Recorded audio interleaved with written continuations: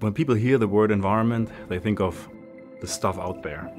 But in reality, we are part of the environment and the environment is part of us. So whatever you do to the environment, you do to yourself. You take better care of it if you know that it's part of you. You cannot draw a distinguishing line between us, me, I, you, and the environment. We are one. We are masters of self-deception.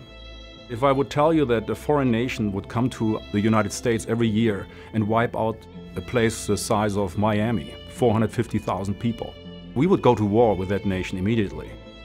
It's just the amount of people we kill off with cigarettes. If we look at the recent outbreak of the coronavirus, the death count from this outbreak will be in the noise of just smoking alone.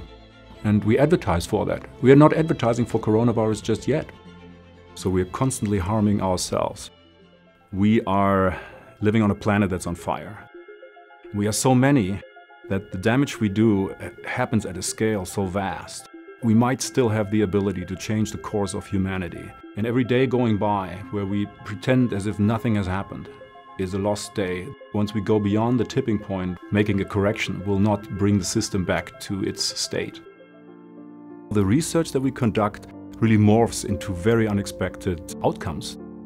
Plastics are absolutely fascinating. It has been an accident from the beginning. When we designed these materials, we weren't thinking about that we're gonna mass produce them.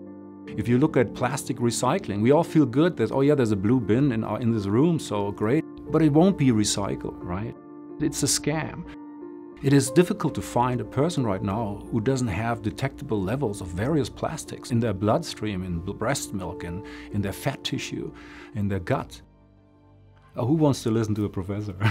so academics are boring, right? They seem like, you know, people who are not real. We are real people, you know, we had real childhoods, we had real challenges, you know, we worked real jobs. Starting age 15, I worked in construction. We were working on a canal lock it was empty and we had to descend down into the canal and apply, you know, very toxic plastic paint to surfaces all day long, inhaling the toxic air that made our uh, skin peel off. Unless you experience it, it's hard to, to understand what it really means for the people who get exposed on a daily basis.